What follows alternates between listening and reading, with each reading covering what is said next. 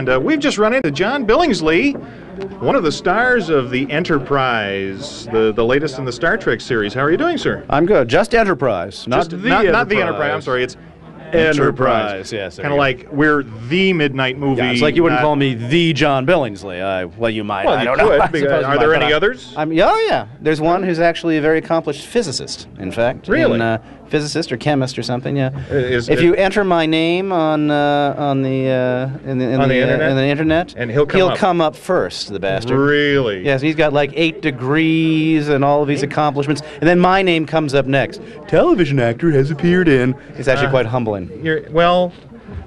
Of course, you're not- You haven't. you're you not haven't- talking to him, are ya? You, are That's you're, right. you're, but you're on our show. There's another me. really humbling Yeah, experience as yeah. well.